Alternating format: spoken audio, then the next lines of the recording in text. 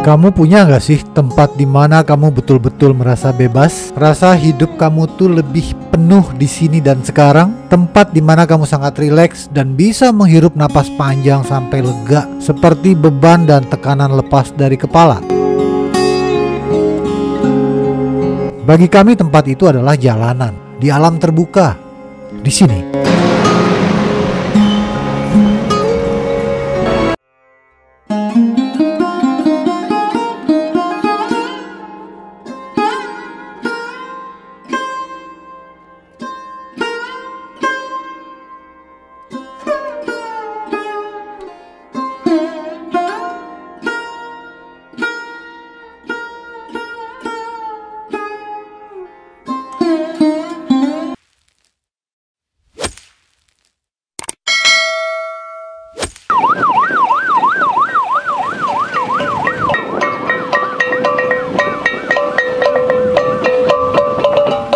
Setelah dari Gunung Mutis, perjalanan kami arahkan lebih jauh ke timur Pulau Timor, meninggalkan kota Kupang. Tujuan kali ini adalah Atambua, daerah paling timur perbatasan dengan negara tetangga Timor Leste. Di Atambua kami menginap di rumah seorang teman yang kami kenal dari aplikasi Couchsurfing, sebuah aplikasi yang biasa digunakan oleh para traveler backpacker. Teman kami itu bernama Irfan Lasakar dan seorang gadis bernama Fani. Kita menuju ke mana ini? Kita menuju ke perbatasan Indonesia dan Timor Leste. Ya, ini kawan baru kita. Hai guys. Perkenalkan namanya dong. Perkenalkan namanya, ini adalah Abang Irfan. Nah, saya Irfan Masakar. Jangan lupa subscribe.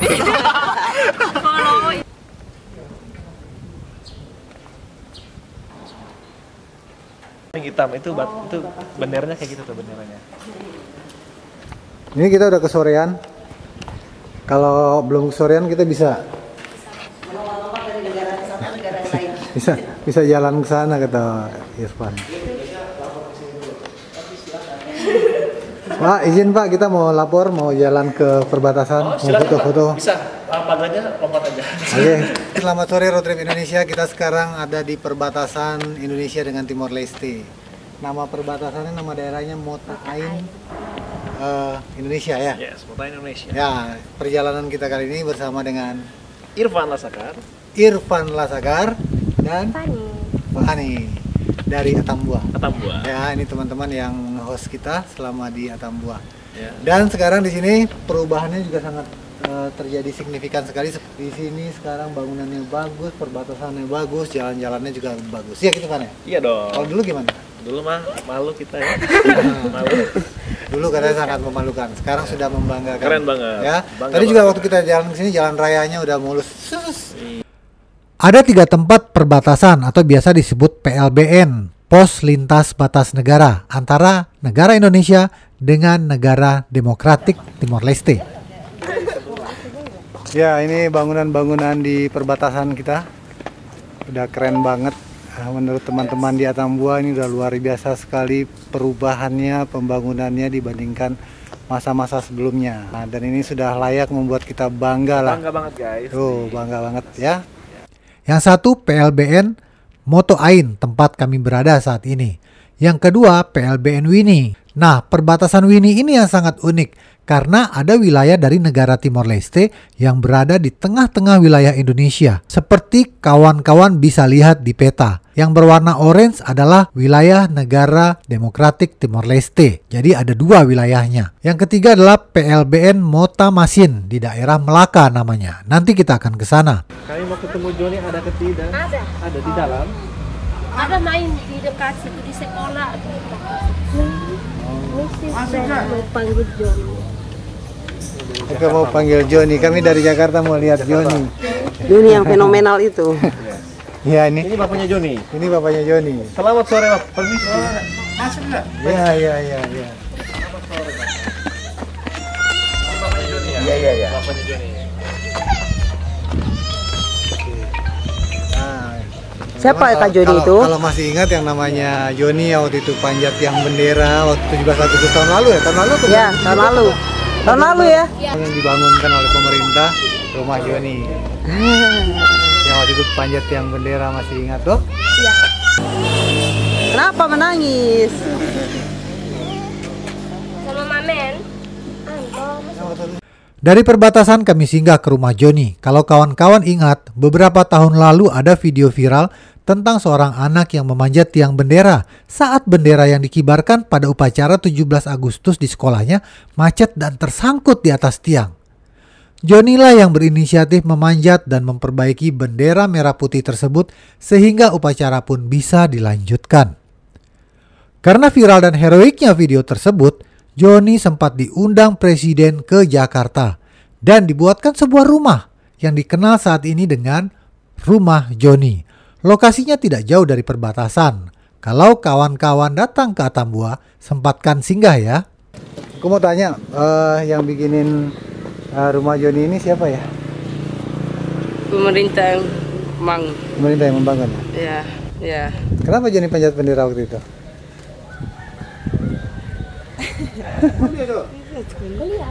Lupa. Spontan aja ya. Iya, Spontan aja. Oke, terima kasih ya Joni ya. ya. Sukses selalu ya. Ini juga disebut negeri daksa ini sini bang, Wih luas juga nih tempat jalan-jalannya di sini. Di mana ini? Ini di Bulan Vehan. Atambua. Atambua. Ah. Ini padang savana seperti kayak di Mutis kemarin. Persis mirip. Kita ajak nanti teman-teman komunitas mobil kita camping di sini lagi. Iya. Ini kayaknya nggak terlalu nggak sedingin Mutis. Dingin mutisnya. Tapi dingin juga ini kalau malam ini. Jangan.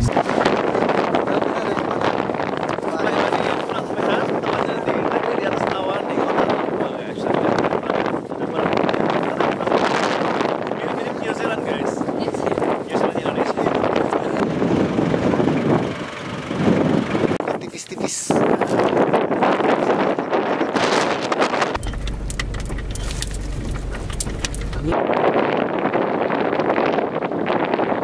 Ya, ya, sudah menerima eh, traveler yang sangat luar biasa.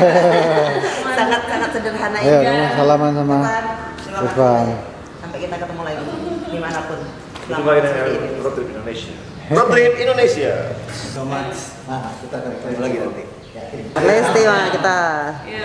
Kita bisa bisa balik lagi, yo pasti bisa juga ketemunya di perjalanan. Oh ya, janjian ya. Ya. Rekam dulu. Kita sudah berpamitan, saling merekam. Saling saling merekam. Kita saling merekam. Oh, jumpa lagi. Dah, Ma, dah. Oke. Satu perpisahan lagi. Tadi malam juga udah sama Fani, udah bertangis-tangisan ria ya. Terima kasih Irfan, terima kasih Fani, terima kasih Mama dan semua yang telah menyambut kita selama di Atambua ini. Ya, terima kasih Mama, terima kasih Van, terima kasih Fani. Kita mungkin nggak bisa berlama-lama sementara ini ya kan? Ya. Tapi tapi one day kembali lagi. Kembali lagi. Kita belum ke Timor Leste.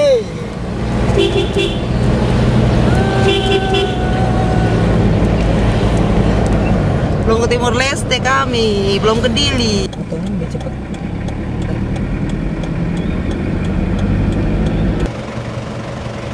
Apa itu? Yes. Oh, Kita harus tinggalin KTP dan kita pakai kartu tanda. Ini buat kamu pegang. terima kasih.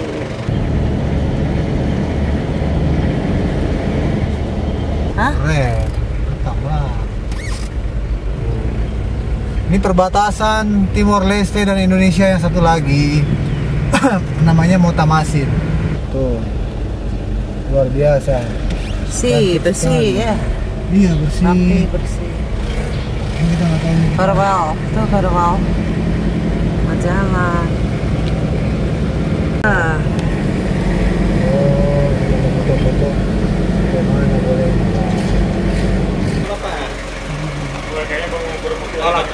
Iya, sedang? Masuk foto-foto. tiap perbatasan lintas Lintas batas, batas negara, negara. Mota Ya. Masin.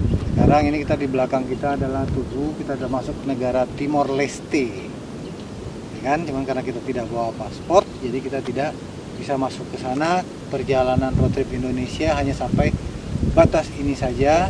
Nah, nanti kita akan lanjutkan lagi, kita akan prepare sebaik-baiknya paspor karena sudah tanggung sebetulnya kalau udah sampai di sini dan kita tidak menyeberang ke Timor Leste. Ya. Sayang sekali. Masih banyak waktu. Masih banyak waktu ya sayang ya? Ya, tenang saja. Ya udah nggak apa-apa.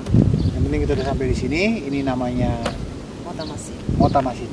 Ya, kalau yang kemarin itu namanya Mota Ain. Mota Ain. Ain. Oke, Mota Ain. Mota Ain dan Mota Masin. Di sini lebih sepi ya. Jadi penyeberangan ini lihat bisa dilihat sepi sekali. Eh, tidak banyak karena kebanyakan itu memang dari Atambua sana di Mota Ain. Nah, ini monumennya ya ditandai Republika oleh Demokratika de Timor Leste. masih ada nama presiden pertamanya Republik Demokratik eh, Timor Leste Bapak Sanan Agus Mau. Selili itu daerah. Sepi. Nah, aku keluar negeri dulu ya. Ya, P. Tarsisius Dewanto. Pada Dewanto.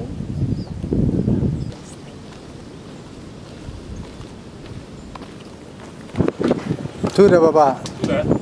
Terima kasih. Ini adalah bapak-bapak penjaga batas NKRI. Yang gagah-gagah lagi. Black label. Back label. Katanya begitu kan? Kita dengar-dengar begitu. Harga dolar. Berapa itu, Pak? Mana? Kita mau. Kita mau. Kami tidak bisa lama di Atambua, bahkan tidak sempat masuk ke negara Timor Leste karena paspor Bang Den dan Kak Beda sudah tidak berlaku alias sudah mati. Tapi kami yakin suatu saat akan kembali dan kami sangat ingin kembali. Kami ingin sekali melihat kota Dili seperti apa. Sekarang saatnya kami kembali ke Kupang dengan jalur memutar melalui jalur pantai selatan Pulau Timor. Kita tidak mengarah ke Kupang, kita mengarah ke pantai Kol Bandung. Oh, Kita tidak mengarahkan ke Kupang. Ya. Tidaklah. jalur yang nggak mungkin lah dari Melaka ke Kupang tuh lewat ini truk-truk tidak Iya. ada kita lihat. Ya Jadi berarti kita tadi kan dibilang kita kan katanya ada ini jalannya kondisi jalan seperti ini dari tadi nih Eh, belum bisa berubah. Iya. Tah mulus PHP mulus. Ya. Iya, kita sendirian ya. Apa di atas itu itu pengeras eh itu botas semua. Sudah bagus pak. Iya ya. Oh, iya. Hanya ini saya yang rusak. Ini saja rusak ya bang? Iya, iya. Oke bang. Ih bagus sekali itu jembatannya baru itu. Iya ya. Sudah. Ini jembatan Menuk. Menuk. Iya ya. Oke. Abang, nanti kita lewat. Kita lewatin turun. jembatan itu. Iya ya. Lewat jembatan sampai di atas sedikit itu Sudah bagus. semua itu. Oh. yes. Itu sampai di Kupang. Sampai Kupang. Oke. Iya. Terima kasih bang. Iya ya. Bisa yang jelek saya. Hmm? Nanti habis jembatan itu sudah bagus. Nisa yang jelek. Bagus semua. Apa? Ini kita dapat pemandangan seperti ini. Walaupun kesasar-sasar keluar masuk hutan, jalanan sendirian aja nggak ada orang lain. Dan satu-satu mobil dan motor yang lewat. Center.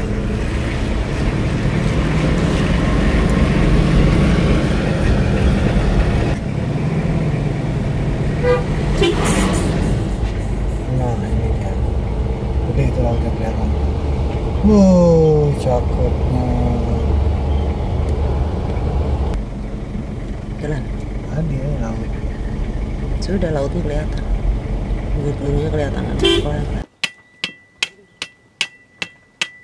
Ya ada main.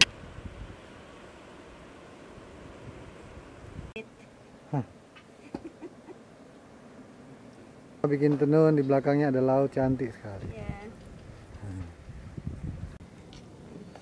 Kalau sudah selesai berapa jual satu? Ini satu juta. Satu juta ya? Iya. Oh.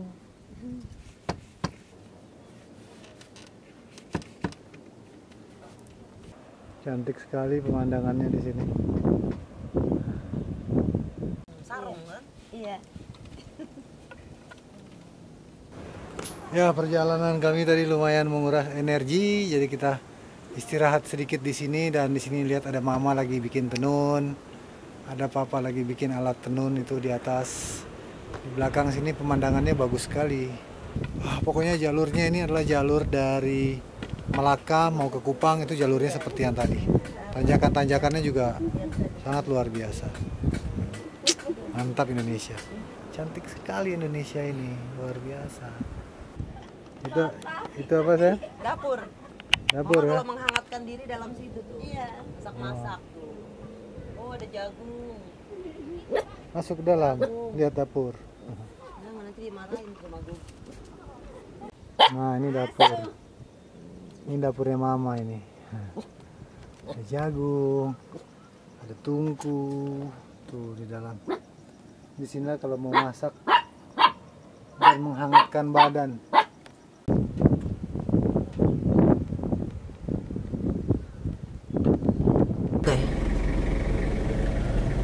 Wah, ini pemandangan di bawah sana. Kita sedang menurun terjal, tapi di bawahnya view-nya laut seperti itu. Ini jarang sekali ya kita mendapatkan view seperti ini pemirsa road trip Indonesia. Wih, cantiknya.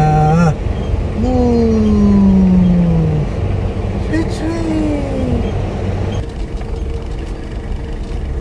Wih, cantiknya kalau kamera di sini. Uh, uh, uh, uh, uh.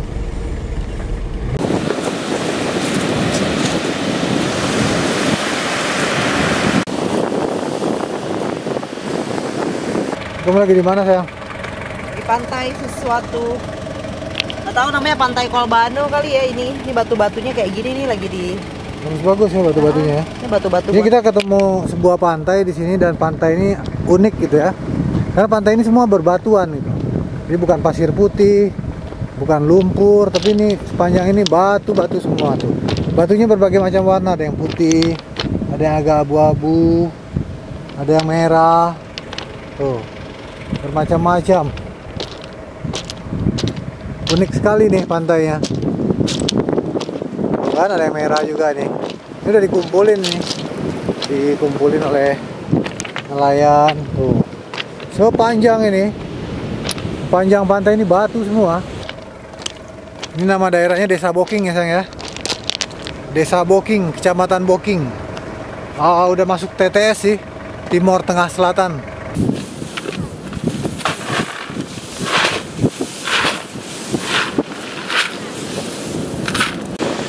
Adik.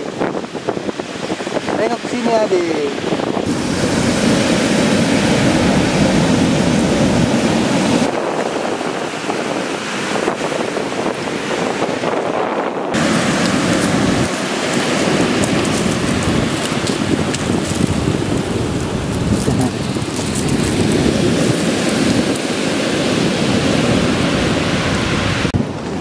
Hai darling, kamu lagi di mana sekarang? Batu Kolbano. Hmm. Pantai Batu deh batu. Oh ya, lihat batunya bagus sekali.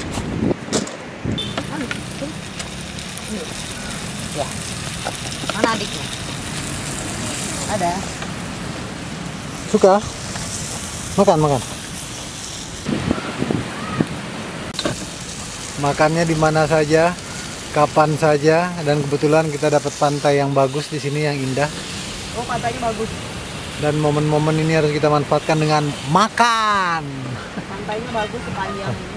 Panjang ini pantainya bagus semua ya, sayang ya. Sayang, kamu liatin ke sini masak apa itu? Ini ngangetin. Ngangetin telur sama ikan. Mantap. Makan dulu ya. Kita sekarang lagi di sebuah pantai. Pantai yang indah sekali. Kolbano. Pantai Kolbano namanya. Tadi perjalanan kita hari ini cukup menguras energi karena kita jalan tuh sekitar jam 7 atau setengah 8 dari Atambua. Uh, kemudian kita ke Malaka. Dari Malaka kita ambil jalur lintas selatan. Lintas selatan Pulau Timur ini ternyata lumayan juga. Kita baru sampai di Pantai Kolbano ini sekitar jam 4 tadi.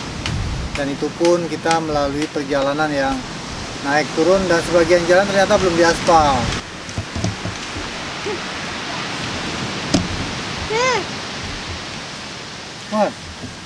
Mari kita ngeteh. Kita ngopi dan ngeteh dulu. Eh, pantai di sini tuh unik. Uniknya kenapa? Dia tuh berbatu-batu. Jadi banyak batu, batu koral yang berwarna-warni seperti yang tadi kita lihat juga dari merah, putih, biru, hijau, macam-macam. Dan batunya itu nggak bisa habis. Jadi masyarakat di sini tuh pekerjaannya adalah mengumpulkan batu untuk jadi batu hias, batu taman. Itu dibawa ke kota Kupang. Kalau di sini kabarnya kalau di sini harganya kabarnya cuma 15.000 satu karung. Tapi kalau udah sampai di kota Kupang satu karung 75.000. Kita mau beli sih murah di sini cuma nggak tahu buat apaan ya. Rumahnya belum ada. Kita ngetes dulu ya. Indonesia itu luar biasa, Bro. Aku cuma heran batu ini datangnya dari mana kok tidak habis-habis gitu saja. Tiap hari diambilin berkarung-karung karung. Ya, kita diajak naik batu ini. diajak naik batu dengan tadi siapa lupa namanya? Ah, Siapa, siapa namanya tadi lupa? Alvin sama Alfa. Alvin sama Alfa. Akamsi, Akamsi. Ya, kan si Kolbano. Akamsi Kolbano, Akamsi Kolbano. Ini jalurnya. Ya.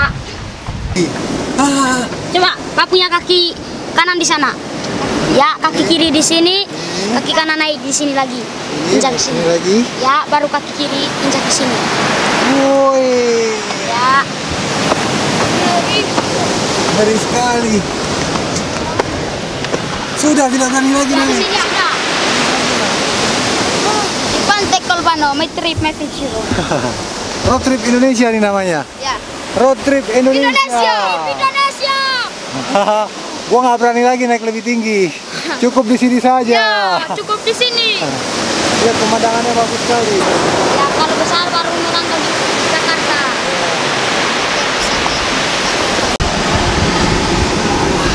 My trip Indonesia. Road trip. My trip Bukan my, Indonesia. bukan my trip, road trip. Road trip.